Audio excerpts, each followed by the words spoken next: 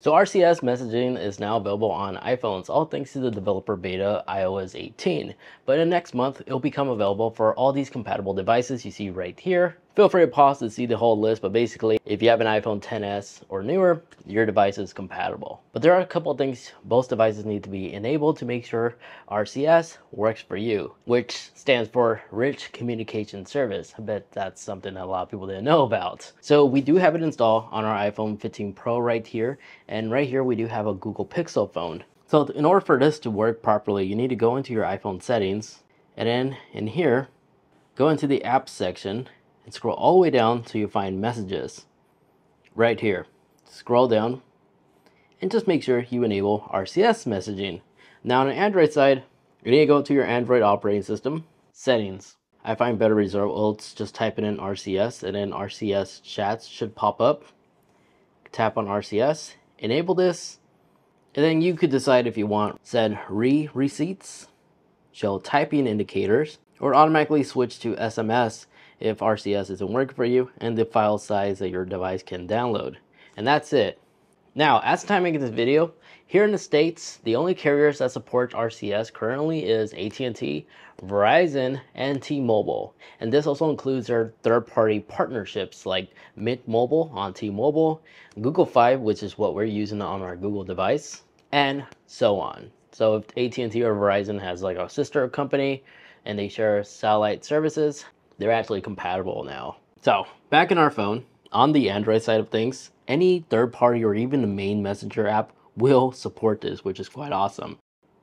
By simply just texting somebody, you'll see I already did a couple of test trials here, but by simply sending a text message, it'll quickly link up and show me it like it would on a normal Android device, but on top it'll say RCS and over here on the Android side, it'll also say RCS and it will also mention who enable RCS.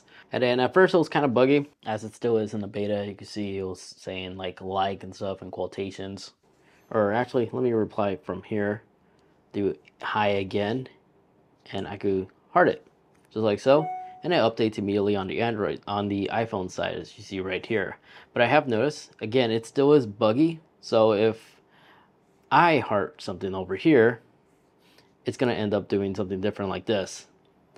Again, over time, this should be fixed, but as, as of right now, this makes communicating with an Android user much easier because it also little gives little bubble bubble feedbacks right here with the little dots and if we hit that send message it also will mark the last time it was last read including ours so a lot of amazing iOS features are now compatible on Android. Android is no longer left in the dark. And then when it comes to sending like high resolution like photos or GIFs as an example, here's All Might. If I hit send, it gives a little feedback right here. There is something coming through and it gets sent. And if you click on that photo or video or even GIFs, it's high resolution. You could strictly download it and install it to your device. But some things that are different, uh, right now I just switched to SMS. I just noticed in this text bubble. Now where it was supposed to say SMS, it was supposed to say RCS right here where it says text message or SMS. So it's buggy right now on my iPhone. Again, still just a beta, but all the important features do work. But some weird ones, since we have this weird odd effect going on, if we long hold right here and do like a screen effect, it may not end up working but I do know it will just say send was echo effect. That's basically it. I know this is a work in progress, not just my iPhone's big bug right now. I know this is currently going on even to those carriers that do currently support everything. But in the near future, we should receive like the ability to do screen effects, like for celebrations, someone's birthday and stuff. As of right now, it will just show up like this. But the important things like Android reactions is something that I do like in no time it should also appear here. I guess it didn't. So that's pretty interesting.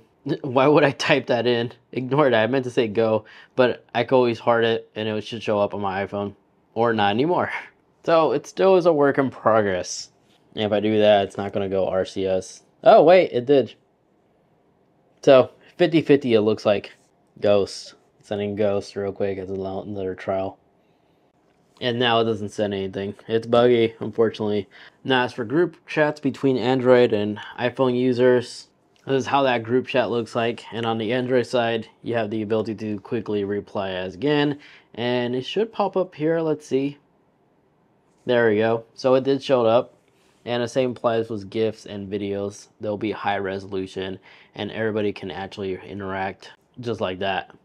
So give it a couple seconds. Android should pop up right underneath and iPhones and then you can react to it just like that. See, again, it's buggy. Sometimes it works, sometimes it does the old-fashioned SMS thing, even though it's still showing me SMS, but really using RCS. And something was going on with my carrier because I'm now getting the other messages that wasn't going through from earlier.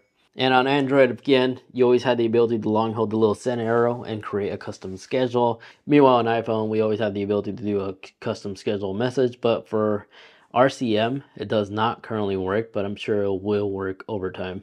It will currently only work on iPhone groups that are on the latest version of iOS 18 or 17 or newer, where you can schedule a message. On Android, it works on both devices. So that's a quick overview of RCM on an iPhone working with an Android device. Again, the Android choice that we're using in today's video is the Pixel 5a. I had this one lying around, still activated with SIM card, and we were just using an iPhone 15 Pro.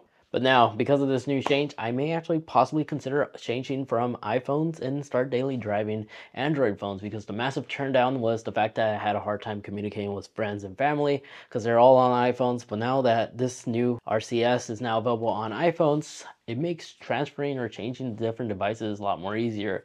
Let me know in the comment section if you are also planning on possibly doing the same thing, experimenting with different brands and phones now that RCS is now available. Now, if you'd like to watch more, highly recommend checking out this video over there where I go through all the coolest changes available on the Apple TV on the latest version of tvOS 18. Check out the developer beta right over there. Again, the public beta will give you access to RCM and should also be available less than a month. Sometime in July should be available for the public for the beta. And then as for the full official release, should be released sometime during the launch of the next generations of iPhones. Thank you so much for watching.